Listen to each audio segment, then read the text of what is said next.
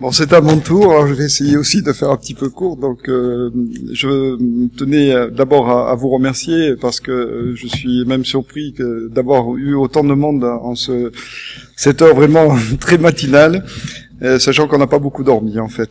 Alors, je, je suis, je représente la Société de médecine du travail et, notre présidente Nadège Terlot qui devrait venir, je pense, quelque tout à l'heure.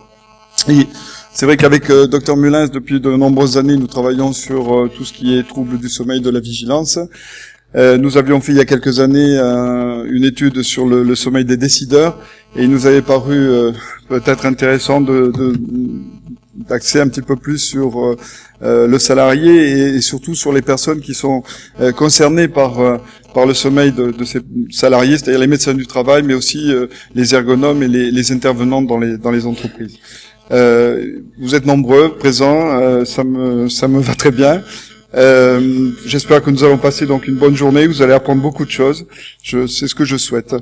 Euh, je voulais juste euh, pour terminer rappeler la mémoire de notre collègue Claude Trella qui, qui, a disparu récemment et qui avait participé avec nous au premier au premier pas de l'association SVS 81 que nous avions créé il y a quelques années maintenant et qui avait participé à une plaquette et à d'autres d'autres documents.